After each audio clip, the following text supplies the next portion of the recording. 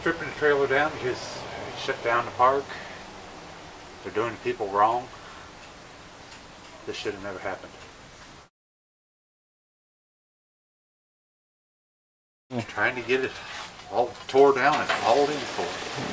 Don't know how much longer I got to do it, but I'm trying to work as fast as possible.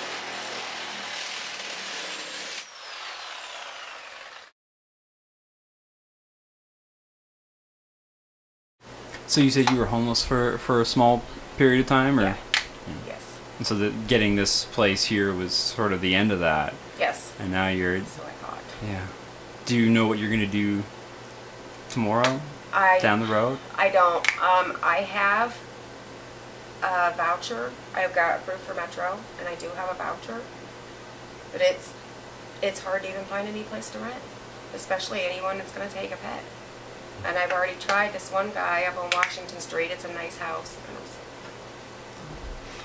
It's, a nice house and stuff, but when I mentioned my pet, he was like, no.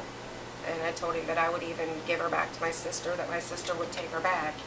Told him what was going on down here, and it's like he's, instead of telling me no, which I would, wish he would, he'd tell me he'll call me back, or um, he just hasn't had a chance to do anything yet. And it's just been that way for almost two weeks now. So, and I mean, I've still been looking at other places too, and it's like, I haven't found anything.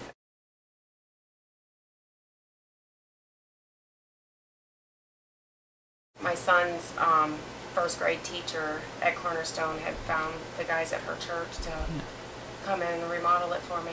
And I mean, it took like about three months like I said, I have before and after pictures almost every day. I'd come in here and see the progress, and I mean, it was a big, big, the orange, the walls used to be orange. I mean, it was, yeah, yeah, so.